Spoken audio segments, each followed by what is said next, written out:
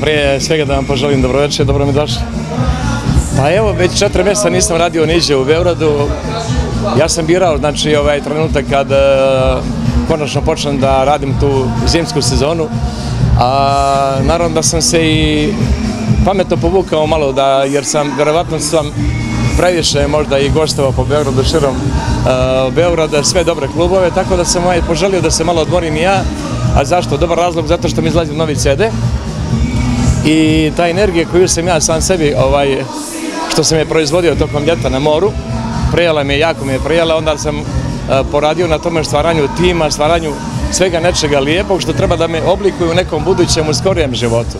A to znači koncerti, moja karijera i takako je jako, jako bogata i ispunjen sam svemu tome kad vidim, kad vidim ove ljude ovde koji su došli prije svega ja važim za jednog od izvođača koji ima možda i najprobirljiviju i najbolju publiku, ta publika je meni vjerna svih ovih godina, vi ste svjedoci svemu tome šta je mene sve pratilo, šta su mi sve ovaj, podmetali, pričali i tako dalje. Nisam ja tolika cvećka da sam ja miran i tako dalje, ali ovaj, kroz tu moju priču, muzičko stvaranje, kroz neke privatne stvari porodične, ako misliš da zaboraviš neke loše trenutke, onda moraš da se daš i društvu i prijateljima i da izađeš izlazak i tako dalje i onda a, tu priču ti onda oblikuju i serviraju onako kako ne treba. A ne možeš se odbraniš, jednostavno moje pjesme su popularne, a, mnogo se i rodilo pjevača koji pjevaju moje pjesme i naravno ja sam srećan sad zbog toga.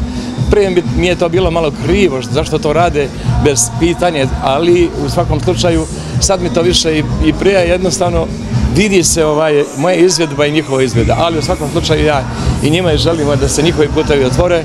Sad koliko će to da uspije, jer vrlo malo pjevača je, znači ovaj, od tih plagijata uspjelo, ali u svakom slučaju meni prija kad čujem da neko pjeva moje pjesme i svjedoci smo vremena da moje pjesme žive kako u sportu, tako u javnim životima, poznatih ličnosti, tako u regionu uopšte i onda me nosi ta energija, nosi ta snaga i dobar zadatak da radim nešto najbolje. Ja se evo sad kad sam to rekao nešto najbolje, kroz mene prođe zadovoljstvo i sav ta rad svih ovih godina koji sam proizvodio nešto drugačije od ostalih, od samog sebe drugačije. Tako da ću vas ovaj obradovati, ne mora obradovati one koji me ne vole, ali moraju poštovati moj rad i moraju poštovati ono što ja proizvedem, što ja gradim, što pravim, što sam uh, i tekako ovaj, svog života da bi poklonio ljudima koji slušaju mene. Jer svjedoci smo vremena da sam mnogo ljudi, mnogo parova poženio, poudavao, mnogo lijepe djece se rodilo uz moje pjesme, mnogo se slavilo, mnogo medalja kako u Srbiji, tako u Crnoj Gori, Bosni Hercegovini, Hrvatskoj, Makedoniji, Sloveniji i tako dalje, širom našeg govornog područja, širom svijeta i onda nosi me ta snaga i energija i kažem sebi, jedno vrijeme moram da priznam da sam bio, malo sam se raspričao, ali pustite me da kažem nešto lijepo, da. Jedno vrijeme sam razmišljao, čak više ne, želim da se laktam, da se guram, dolaze neki pjevači koji, traju mjeseci po dva, tri, pola godine, godinu i tako dalje, ali mm, bilo bi šteta zbog samog sebe, zbog mene, jer proizvodim dobro. Obično kad snimim neki hit, oni kažu šta ćeš ako parlamenta sljedeće da snimi, može li nešto bolje? Ja opet snimim ono opet neki hit.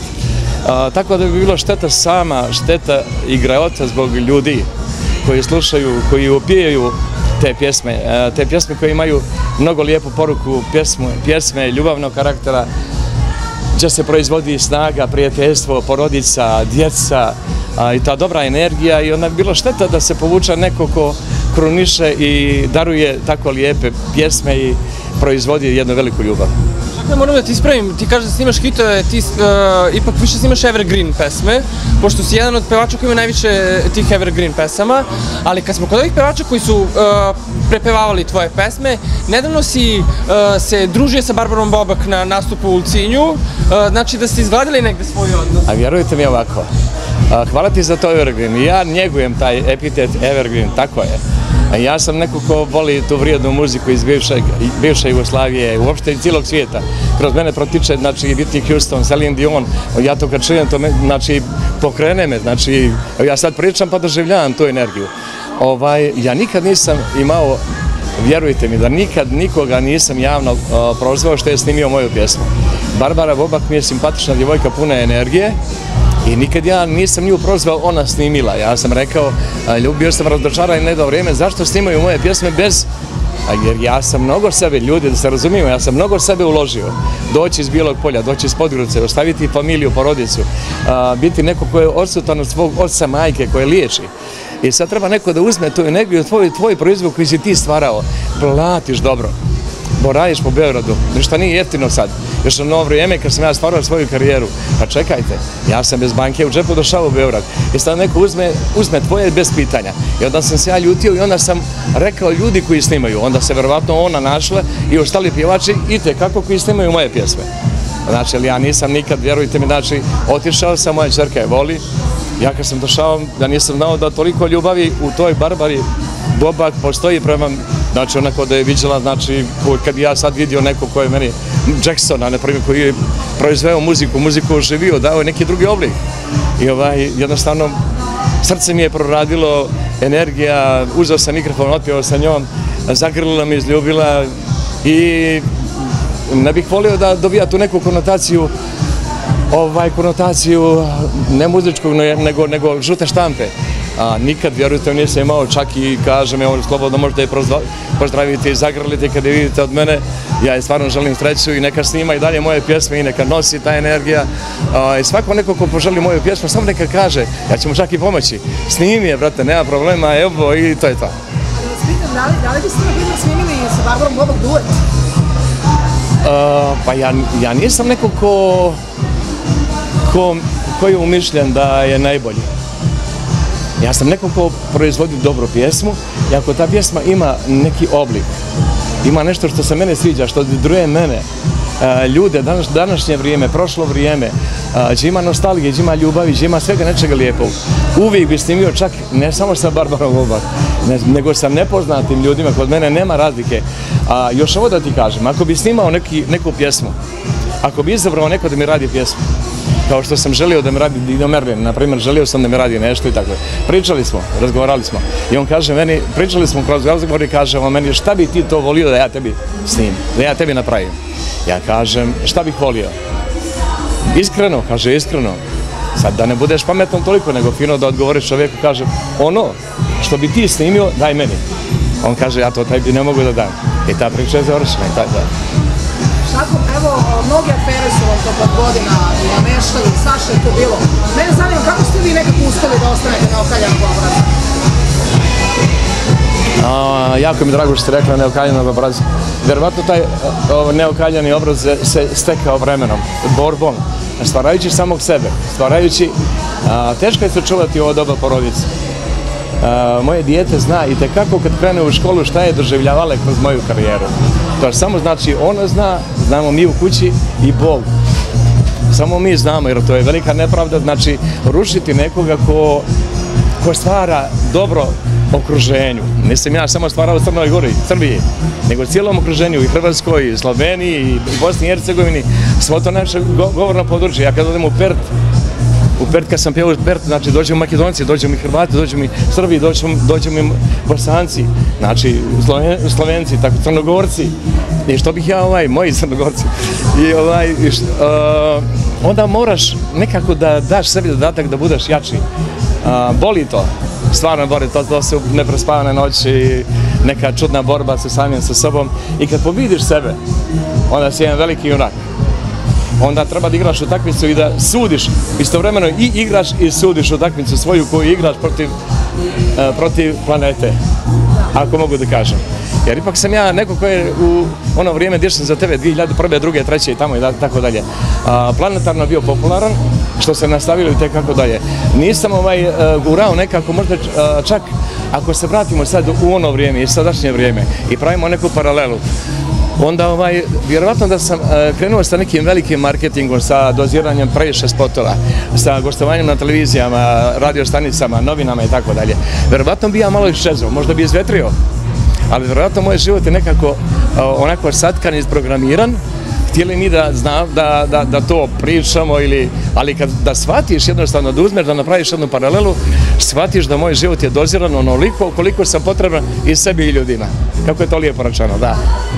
Ljudima si kako uh, potreban, eto, spremaš novi album, uh, jel će biti nešto, uh, će biti starog šaka, novog šaka, šta će biti? Pa bit će svašta nešto, ja ću da proizvedem neku muziku koja koja ima ove primjese. Vidi kako lijepo. Znači da ima taj ritam, taj kod, da nosi. Ali opet imat će znači, tih mojih ukrasa, mog načina. E, ipak, ako bi ja bježao samog sebe, ne bi daleko stigao. Morao bi da zakačim neku ogradu i da se zakačim na nju. Vrati se onamo gdje si. Ipak te pjesme, znači, ako Mogu ja svašta nešto napravim, a ako ono krene po tom ritmu, nešto nisam sunce da ti grir, mora da nosi, znači taj ritam koji nosi. I ja hodim zajedno sa tim ritmom i nema tu promašaja. Šta moram pitam, prošli put kad smo bili ovdje u klasi, ne znam da li se sećaš, pričali smo o Dušku Tošiću, uh, Karleuša se razvela sada konačno, Uh, I uh, rekla je jutro, gostovala u, u jutarnjem programu i rekla da po statistici žene kada se razvedu procvetaju, a muškarci očelave i dobiju stomak. Ti si uspio da sačuvaš svoju porodicu, ti nemaš tih iskustva, ne možeš da mi kažeš da li je tako, a šta misliš ti o toj statistici? Pa teška je starost čuvati porodicu. Pa Duško je frajer, ja ne znam, ja nisam ga vidio u zadnje vrijeme, mislim da je on dobar frajer.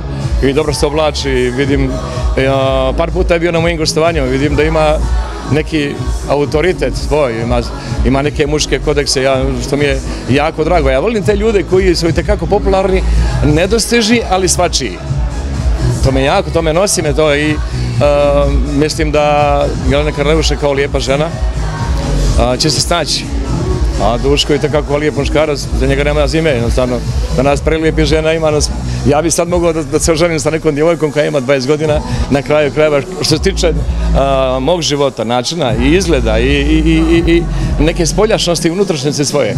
Ali na kraju krajeva porodi se svetinja, nešto što ne može se kupi u životu i jednostavno budi prizeman, budi u stavu kad je porodica u pitanju. To je ispred tebe, iznad tebe i tu je kraj, tu se priča završava. Moram da vas Nado je gostujući na Haj televiziji rekao nešto što se vama nije dopalo. Da li ste zakupali nekako s nekime? U kakvom ste sad odnos? Slušajte me ovako. Ja sam neko ko je živio u kući nas pet brata i jedna sestra. I moj otac, znači, desilo se nekad kao mi razmaženi opet, imali smo lijepo djetinstvo. I možda nekad otac, ja, na primjer, mom sinu mogu da kažem, ne to, da budem ljud. I moj će sin biti ljut na mene i neće govoriti par dana sa mnom. Ali ja to nisam smio svom ocu da, da, znači, da ispoljim taj, taj, taj, taj revolt. Znači, ako bi ja ne bih progovorio sa njim, dođi vamo, stani ispred mene, ti sa mnom ne govoriš. Jesi ti meni otec ili ja tebi, znači. E, to je znači stvar porodice, unutrašnjost porodice, snaga jedne porodice se mjeri poštovanjem. Znači, sve, da ne govorim sa dadom, da ne govorim sa bilo kim iz porodice, on je moje, moje nešto što, što je, što smo vezani i, i, i i životom, i plemenom, i genetikom, i svim najljepšim stvarima, najljepšim nitima, ne moram ja čak da se vidim sa njim, ali obaveza je da se bilo šta desi u porodici, da se vidimo na tom mjestu. I ne smijemo se pomjerati, sve da ne govorimo, mi moramo biti zagrljeni i zaplakati zajedno stvarno čuvate svoju porodicu daleko od objektiva i medija, ali eto, prikazali ste ih u onom predivnom spotu za pesmu. Hoće se to možda ovaj, ponovo nekako ponoviti u praksi? Pa ne bih više ostavio i ovaj, bož dragi, ja nekako cvjetam, ja to, tako lepršam kad vidim tu. Sad sam vidio dok sam putovao ovamo ka, ka nacionalnoj klasi i do vas, vidio sam ovaj, story što je moja čerka izbacila sa svojom čerkom, sa mojom unukom, Klea. I kad sam vidio Bože, kakav stimulans, kakav, kakav doping u tom trenutku, znači što ima ljepše na svijetu, one njene okice, onaj njen osmih, pa ima li šta ljepše na svijetu, tako da što sam htio da pokažem, pokazao sam. Svih ovih godina nisam otvarao svoja vrata, svoje privatnosti, kako ja živim, a lijepo živim i mnogo što, lijepo u životu napravio, tako da nisam u životu želio da moju privatnost neko, zbog čega? Zato što sam većinom bio od moje popularnosti, od mog rada, moraš da daruješ svoje ljude okruženje oko sebe koji su oko tebe i da pokloniš, kupiš, častiš i tako dalje. Ali, što sam imao, najviše problema sekiracije i sve što je zašlo loše u javnost je otišlo iz ljudi koje voliš, od prijatelja, ljudi koji te okružuju. Znači, čuvaj me od sebe, a prijatelji da nas najviše izdaju. Kako si naučio da se nosiš sa tom izdajom tih bliskih ljudi svi imamo problem sa tim da nas uglavnom uvek najbliži ljudi izdaju? Ne mislim na, na članove porodice, ali najbliži saradnici, prijatelji. Pa vjerovatno je to što sam ja jako običan. Jako običan i za prijatelje, ja postajem dio njihove familije. Ja sam srećan što moji muzičari su napravili svoje domove, svoje kuće, svoje porodice. Znači ja sam, ja sam promijenio do sad u karijeri tri do četiri benda. I onda sam srećan kad e, moji muzičari su ostvareni.